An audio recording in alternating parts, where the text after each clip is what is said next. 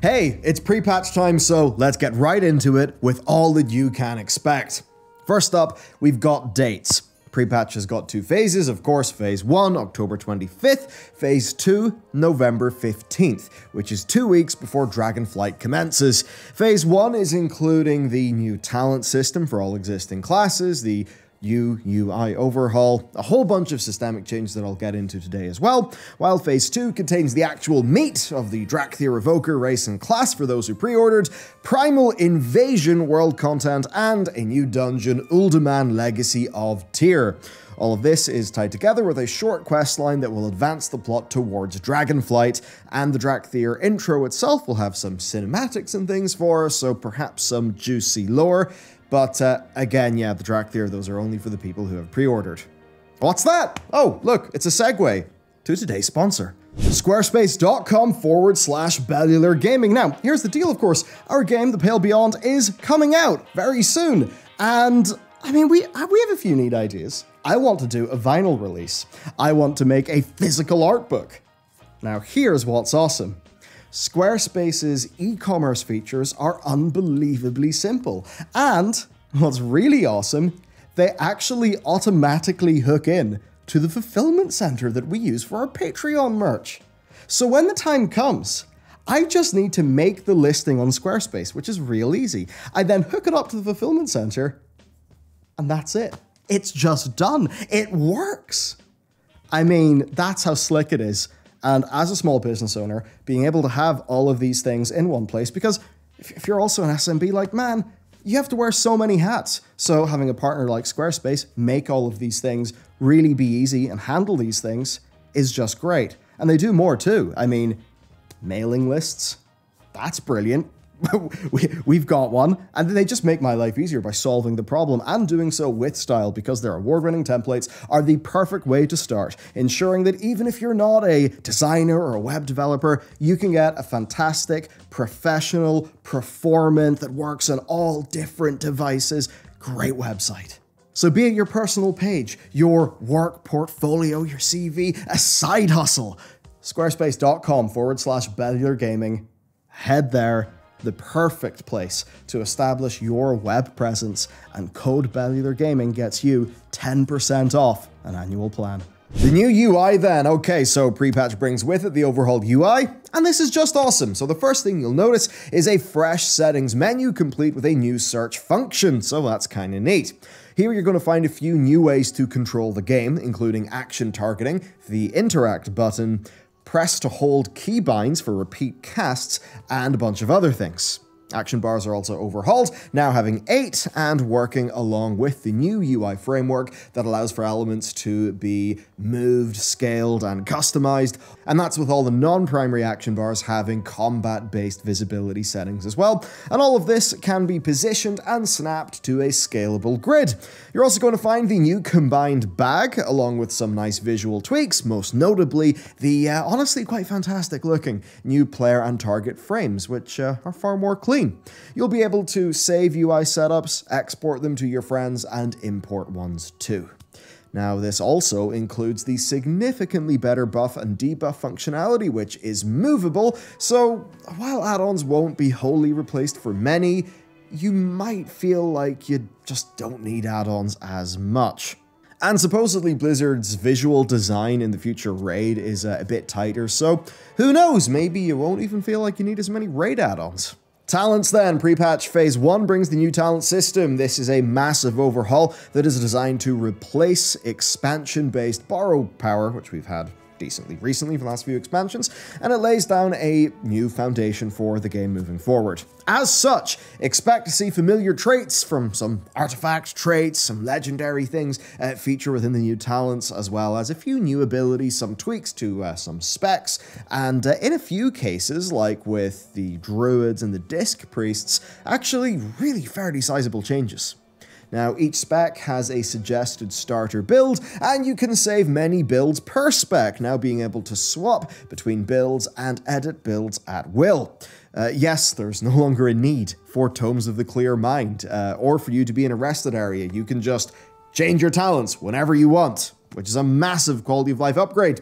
The trees are also searchable, and if you click in the search bar, you actually get a pop up that highlights any talented abilities that you've not actually bound to your bars, which is a really nice quality of life feature for the newer players. There's also, like with the UI, the option to import and to export talents, plus you can even make it so that your action bars change with your currently active talent build. They've been doing great work here. As for changes themselves, look, I'd be lying if I said that everything was perfect. Some classes do have a few outstanding issues. One thing, paladins, some of them feel a little bit hard done by. There's a few other examples there as well. But uh, there also are many fantastic changes like the feral druids and balanced druids, and many classes are, I'd say, progressing in a pretty positive direction compared to Shadowlands. Most importantly, this gets us out of the borrowed power trap, and with this being a generally large change, Blizzard have said they are open to continued design iteration as the Dragonflight patches roll on. This is a bit touch and go on the PTR, but all being well, the rebalancing of leveling XP should be there for the pre-patch. Here is a graph. They've essentially murdered levels 50 through 60, and uh, with 50 to 60, of course, being part of Chromie time, you won't have to do them in the bloody Shadowlands, which is good news. So this is the perfect time to level up new characters, but a bit of a word of caution because if you do pre-order the expansion, say to get a Dracthyr or something, you'll get a level boost with that. Use that boost with care. Boosted allied races do not unlock heritage armor, uh, so to get the Arch Armor, you need to level them up to 50 manually. So if you're leveling multiple toons and you do have a boost, use your boost on a non-allied race and uh, level the allied races manually. As usual, Warlords of Draenor is still the fastest way for you to get your initial leveling done. Um, we might do an updated video, but uh, there is this one that we did two years ago, which still does apply. Another neat thing as well, many people expected the 50% XP buff to go away with pre-patch, but per the specific wording, it actually goes away when the Dracthyr Evoker becomes playable, which is phase 2 of pre-patch, and that does mean the 50% XP buff will be active for a bit more time yet. Okay, next I'm going to cover other things that are coming in Phase 1 of pre-patch. So, Priest, Mage, and Rogue are now available to all existing races, obviously with the exception of the new Dracthyr who can only be Evokers. At least for now. I saw some data mining hints that maybe could be a glimmer of hope there, but uh, yeah, for now, that's not going to be the case. Another great change that will come with pre-patch phase 1 is the further liberalization of mob tagging rules, which uh, still are up to 5 players, but importantly they're now cross-faction, so if you're an alliance player and some horde bastard attacks your mob, do not worry, it will actually count as progress for both of you, and you'll both be able to loot it. This all makes sense, of course, given Blizzard's introduction of cross-faction gameplay in 9.2.5, and that's a change that, if you've not experienced it, is noteworthy, maybe more than you would think. Matt and I hopped back into Mythic Plus Dungeons like two months ago, and we were kind of blown away by how many more groups there were. You see, we're Alliance. Alliance was previously a lot smaller in that type of content, and we just found the amount of groups we had access to was humongous. So, while that's not a change of pre-patch, it is a fantastic one that many people will only now be experiencing for the first time. The new res sickness rules will also be activated, where instead of a 25% durability hit and 10 minute stat debuff, you'll now just get a 1 minute stat debuff and a 50% durability hit. So it is more punishing in a way, but it lets you get back in the action a bit more quickly, with Blizzard saying that the old penalty yeah, just had people log out, so the change makes sense. Shadowlands is not quite dead yet with pre-patch, so all three raids will be fated at the same time, Second, group loot, the new loot system will apply in all of those raids, meaning that right now marks the end of personal loot in World of Warcraft raiding. The new group loot system that's coming into the game is based on the familiar need, greed, role system that we had been used to in the game's past, but it's got extremely important upgrades, uh, so pay attention to this, especially if you're suspicious or worried about this change. So the game is aware of main spec and off spec, so if two people roll need. One person, you know, the item is not for their loot spec, but the item is for another person's loot spec. Well, the person who's rolling for their main spec will take priority. That's massive. There are a bunch of other very common sense additions as well, and that all just amounts to it being a fairly foolproof system that does bring back many old positives while cutting out negatives. And for many dedicated groups of friends who play together, like what I do, it's a godsend because loot trading restrictions as a part of the system are gone, and this allows guilds to distribute loot however they want. But only in an opt-in basis, because of course, Master Loot will not return. And if you want to give Shadowlands a last hurrah, you'll still be able to earn the Keystone Master mount, as well as the uh, the plus 20 stuff for Mythic Plus.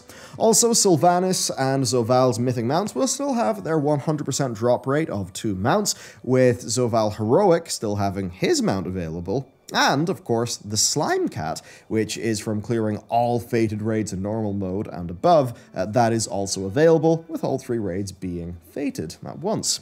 So it's a pretty good opportunity then to take your new class out and actually give, uh, give those class changes a spin. Now, do note that uh, a bunch of effects will be disabled, actually, you know, like your, your Legos and stuff. This is actually something that makes sense because they would combine with the talent revamp in a way that would essentially just break classes. But don't worry because Blizzard will be tuning the content to make up for this loss of power. Another fantastic change that you may especially enjoy if you're trying to, well, see how your class actually feels is that rated solo shuffle is a thing now. Of course, it was a brawl, but with rated and uh, it being cross-faction, which is coming too, it means that earning conquest via solo queue PvP will finally be a pillar of World of Warcraft gameplay. This is just fantastic, but hey Blizz, let's get solo roll queue made for rated battlegrounds. Do that and we'll be golden. That's not all for Phase 1, there are a few other miscellaneous changes. So, if you'd like to earn a Dragon Isles mount right now, good news. Pre-patch does add the 500 mount achievement, which rewards the otherworldly Otuk. They've also added a host of pet collection ones. Uh, 1250, 1500, 1700, and 2000 pets each have an achievement which rewards a pet. That is a lot of pets. Also, the barbershop is totally free. Campaign quest NPCs get a special mouse over, and uh, the enhanced gameplay support for uh, gamepads is in. I would, of course, recommend using the ConsolePort add-on for that, though. Phase 2 then. So the Dracthyr unlock November 15th, and being a hero class, they start at level 58, hitting level 60 by the end of their starting zone, meaning you'll rapidly have a new level-capped character ready to go straight into the new dungeon and world event. The starting zone for them is actually great. But to make a Dracthyr, you will need to have one character at level 50 or above on whatever server you're using uh, is, but of course with uh, the XP stuff that we've talked about before, getting a fresh tune to level 50 would be very, very easy. Now, you're only allowed one Dracthyr per realm as well. Okay, let's talk about the event. The pre-patch event honestly is uh, very simple this time round. So it involves the elemental invasions of four zones, Un'Goro, Northern Barrens, Tirisfal, and the Badlands, and you can see this just viewable on your world map. These are essentially a bit of a Dragonflight endgame thing backported, uh, so I guess they just kind of turn it around sort of quickly. Now when an invasion is active, there'll be loads of trash mobs, uh, essentially don't matter. Uh, they matter every 30 minutes when the Elemental Lord appears. The Lord has a shield. To destroy the shield, you will have to defeat 100 of the nearby empowered mobs. Now, when empowered by the Lord, these mobs will drop Primeval Essence. This is the event currency. Uh, with the shield down, you can just kill the Lord. Uh, doing so will get you loot, and it will get you more currency. It's simple enough, really, and it is a fairly conservative event. It's uh, certainly not reaching the heights of the Legion pre-patch event. But still, you do actually get some neat rewards where there are item level 252 gear sets for each armor type, and uh, they may actually be of interest uh, to you for transmog purposes. I think certainly the plate set is looking particularly good. Beyond that then, the uh, Elemental Lords have got a chance to drop an item. If you combine all four of those, you'll be able to make a new heirloom trinket, and there is also a toy. Overall then, it's a simple enough event which is honestly a bit disappointing, but there is at least the new dungeon, Uldaman Legacy of Tyr. Now this is one of the new 8 Dragonflight dungeons, but with this level 60 tune version that you can play now, which will be a nice way to again test out your new talents. Now, what's interesting here is how Mythic Plus works because Season 1 of Dragonflight has four Dragonflight dungeons and four older dungeons. Season 2 then has the other four Dragonflight dungeons and four other older dungeons, and Uldaman will be part of Season 2. So I suppose don't really worry about burning yourself out by doing Uldaman right now because you won't be able to do it in Mythic Plus until Season 2 of this expansion. But of course, it will be available at Mythic Zero at level 70. So there you go. That, everybody, is the pre-patch event. And that's the video. I didn't write an outro, so uh, here we are. You made it to the end. Congratulations. If you like the support we're doing, well, of course, you could always check out The Pale Beyond, which is the video game that we're developing. Um, that's, uh, yeah, well, coming soon. And uh, you can check it out over on Steam if you are down for a uh, narrative uh, RPG, a sort of survival themed uh, Antarctic exploration inspired game. It's been testing real awesomely with the demo, by the way, which has been very nice to see. Okay, that's it for me. Goodbye.